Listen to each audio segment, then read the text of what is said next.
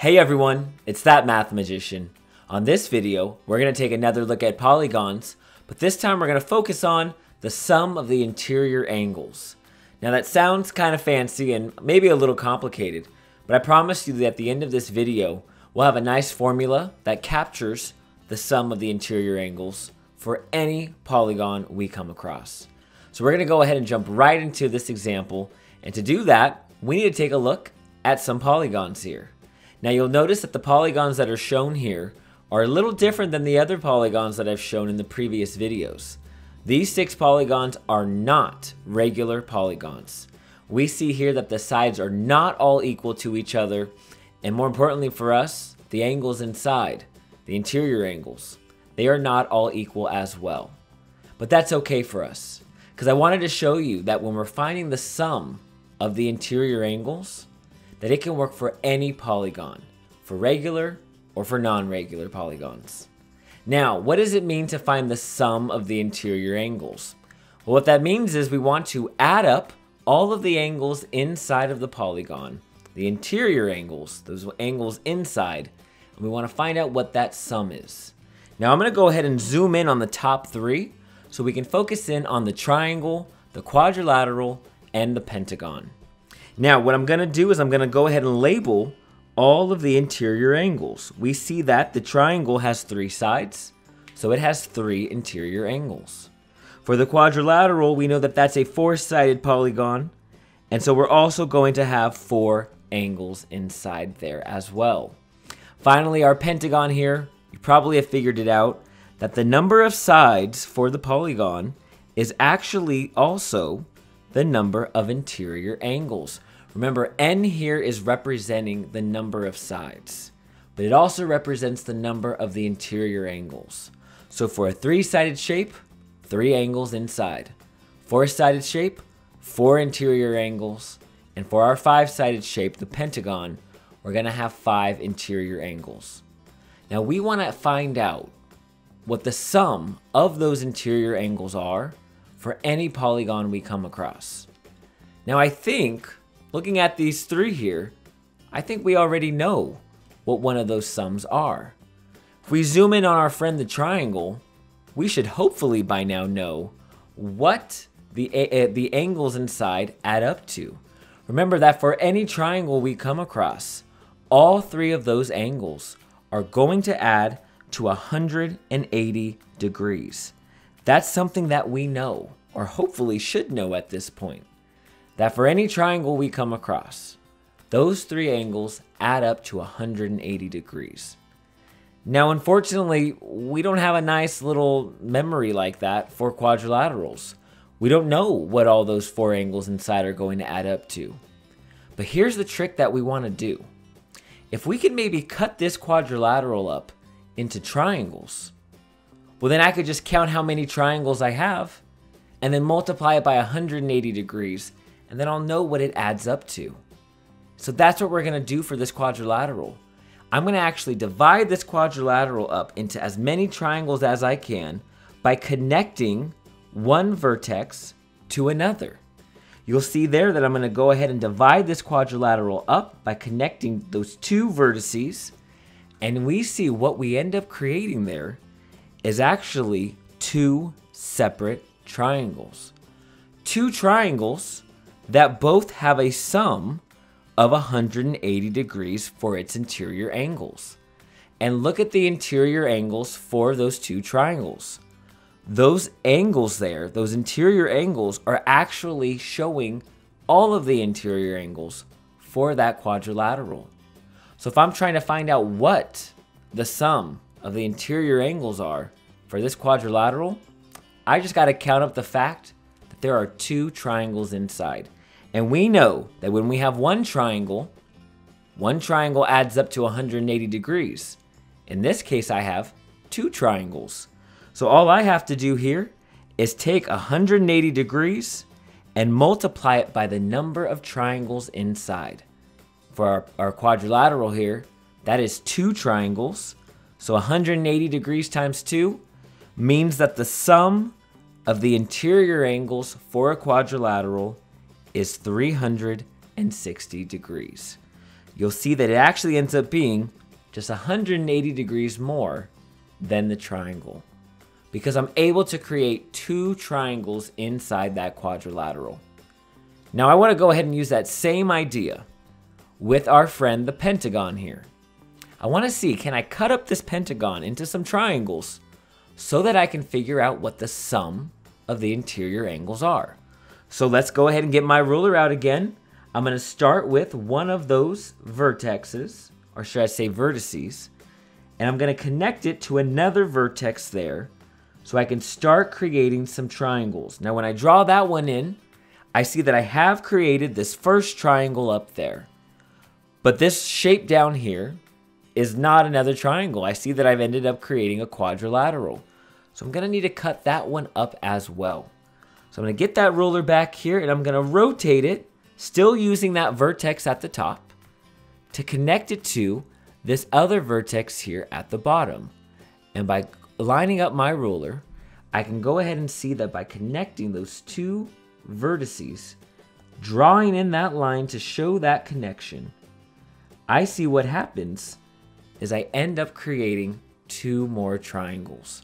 So in the pentagon here, I have one, two, three different triangles. Three triangles, and each of those triangles has a sum of 180 degrees. So to find the sum of the interior angles for this pentagon, I'll just take 180 degrees, I'll multiply it by the three triangles inside, and we'll see that that ends up equaling 540 degrees. That is the sum of the interior angles for a pentagon. So look at that.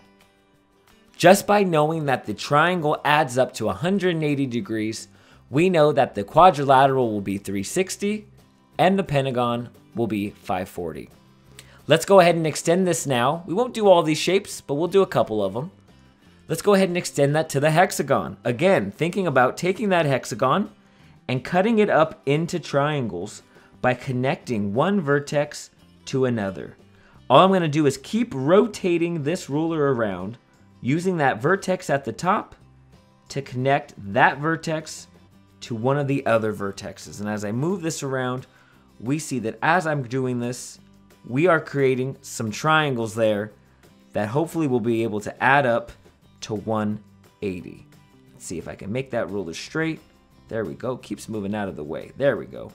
As I put in that final line there, we see that the hexagon, I'm able to create one, two, three, four triangles. Four triangles there for the hexagon. So to find out what the sum of those interior angles are, remember a hexagon has six of those angles inside. I'm trying to find out what they all add up to. Well, let's take 180 degrees. Let's multiply it by four and we'll see that that ends up equaling 720 degrees. Now I'm hoping at this point you're starting to notice a pattern. There is a pattern when we're trying to find the sum of these interior angles for our polygons. And what I want to draw your attention to is the number of sides for the polygon. We had four, we had five, we had six. And then I want to draw your attention to the number of triangles that we found inside of those polygons. You'll notice with the quadrilateral, we found two triangles inside. For the pentagon, five sides, there were three triangles. And for the hexagon, six sides, there were four triangles. Notice that the number of triangles I'm able to find in each polygon is always two less than the number of sides. And then we just take that number and we multiply it by 180. So now when I get to this heptagon here, I could start to divide it up and I could get my ruler and I could start trying to divide this heptagon up into triangles just like we've done to figure out how many triangles are going to be inside. But I don't think that that's actually necessary now.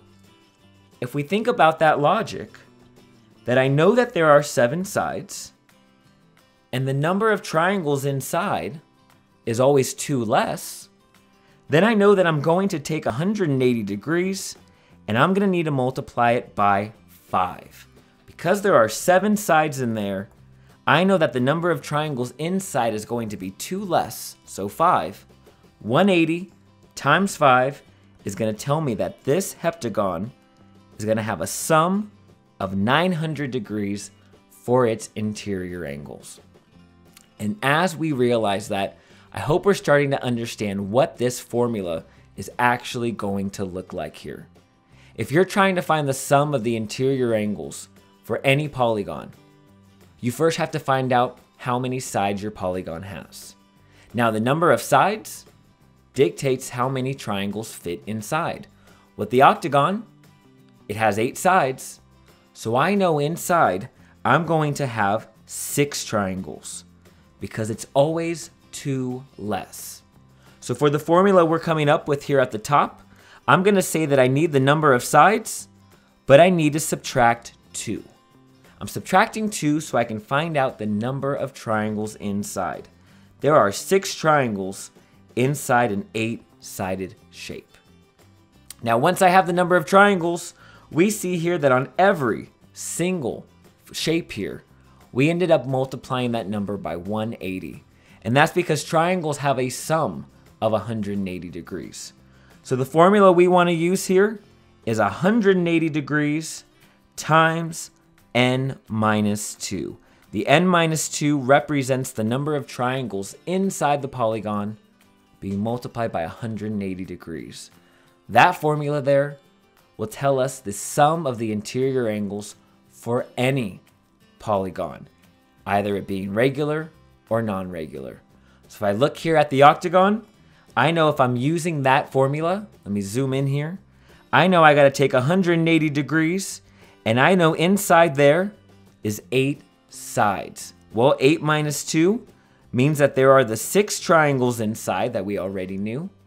And 180 times 6 is going to give us a value of 1080 degrees.